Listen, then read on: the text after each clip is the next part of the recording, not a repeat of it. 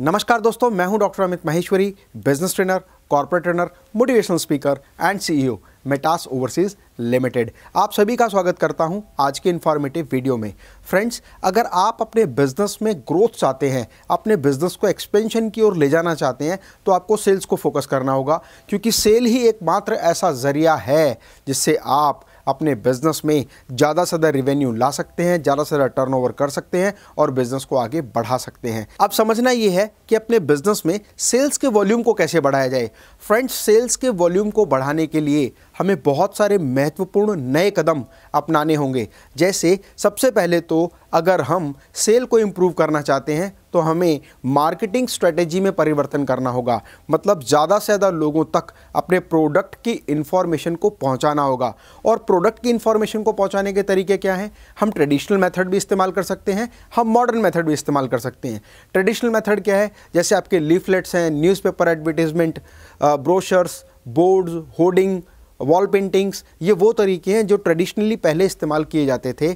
इसका भी बहुत बड़ा इम्पैक्ट कंज्यूमर के माइंड पर पड़ता है। कहते हैं ना, जो दिखता है वो बिकता है। इसीलिए ऑफलाइन और ट्रेडिशनल मेथड से भी हमें हमारे बिज़नेस को मार्केट करना चाहिए एडवर्टाइज करना चाहिए, ताकि ज़्यादा से लोगों तक हमारे प्रोडक्ट और सर्विसेज़ की इन्फॉर्मेशन पहुँचे और हम उनको टारगेट करके ज़्यादा सेल वॉल्यूम जनरेट कर सकें। इसके अलावा दूसरा जो महत्वपूर्ण कदम है, जितने भी आपके एग्जिस्टिंग बायर हैं, उन बायर्स की लिस्ट ज़रूर बनाएँ और उन बायर्स से कांटेक्ट करें कि, सर, आप हमारे प्रोडक्ट या सर्विसेज़ से सेटिस्फाई हैं तो मुझे पाँच रेफरेंसेस दीजिए।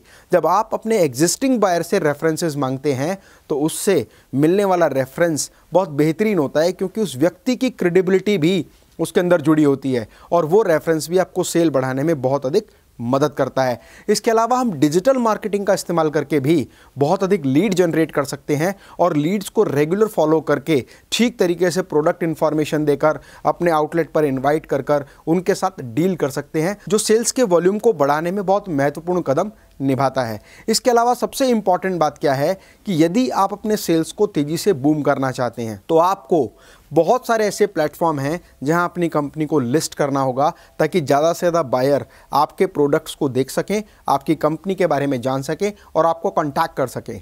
आज मैं आपको बताता हूँ पाँच ऐसी टॉप मोस्ट वेबसाइट्स जहाँ पर आप अपने प्रोडक्ट को यदि लिस्ट करते हैं तो नया बायर आपको कॉन्टैक्ट करता है और सेल कन्वर्जन में आपकी सेल्स की जब उन्हें फॉलो करती है तो वो लीड मैच्योर होती हैं। जैसे सबसे पहले अपनी कंपनी को India Mart Trade India Exporter India Alibaba और जस्ट डायल पर ज़रूर रजिस्टर करें। यहाँ से होगा क्या कि जब आप यहाँ रजिस्ट्रेशन करेंगे और कोई भी बायर इनकी साइट पर लैंड करेगा और सर्च करेगा आपके प्रोडक्ट या सर्विस को तो आपकी कंपनी की इन्फॉर्मेशन भी वहाँ उन्हें दिखाई देगी। ये भी एक तरीका है कि हम सोशल मीडिया प्लेटफॉर्म के ज़रिए भी अपने बिज़नेस को ग्रो कर सकते हैं। मतलब आप अपने प्रोडक्ट या सर्विसेज़ की इन्फॉर्मेशन या अपनी कंपनी की information Facebook LinkedIn Twitter Instagram इन सभी प्लेटफॉर्म के ज़रिए भी आप एडवर्टाइज़ कर सकते हैं। और जब आप एडवर्टाइज़ करेंगे तो ज़्यादा से ज़्यादा कॉल्स इनकमिंग होंगी और जितनी ज़्यादा लीड्स इनकमिंग आपके पास होंगी, उतने ज़्यादा चांसेस ज़्यादा सेल जनरेट करने के होंगे। फ्रेंड्स इसके अलावा, अगर आपका बिज़नेस एक सिस्टमेटिक बिज़नेस है मतलब आपने अपने बिज़नेस को एक सिस्टम ओरिएंटेड बिज़नेस बना रखा है डेवलप किया हुआ है आपने अपना प्रपोजल तो आप डीलरशिप के माध्यम से डिस्ट्रीब्यूटरशिप के माध्यम से सी एंड एफ़ के माध्यम से या फ्रेंचाइजी डिस्ट्रीब्यूशन सिस्टम के माध्यम से आप बहुत सारे sales units sales outlets design कर सकते हैं, बना सकते हैं, जहाँ से आपको मिलने वाला सेल्स का वॉल्यूम एक रेकरिंग रिवेन्यू मॉडल के रूप में भी काम करेगा।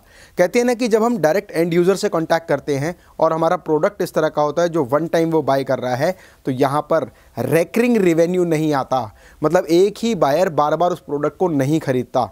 इसीलिए ज़रूरी है अपने dealer, distributor C and F या फ्रेंचाइजी मॉड्यूल को डेवलप करने की, ताकि जब बायर वहाँ से खरीदे, पर आपको एक रेकरिंग रिवेन्यू मॉडल के रूप में आपका बिज़नेस बढ़ता रहे। इसके अलावा आप multi units company operated units भी बना सकते हैं। मान लीजिए आपकी शॉप एक नॉर्थ इंडिया में है तो आप एक साउथ इंडिया एक वेस्ट इंडिया एक मतलब अलग अलग राज्यों में भी आप अपने आउटलेट्स बना के, खुद के कंपनी ऑन ऑपरेटेड आउटलेट्स भी बनाकर अपने सेल के वॉल्यूम को बढ़ा सकते हैं। तो फ्रेंड्स, ये थे वो कुछ ऐसे तरीके जिनका इस्तेमाल करके आप अपने सेल्स वॉल्यूम को बढ़ा सकते हैं।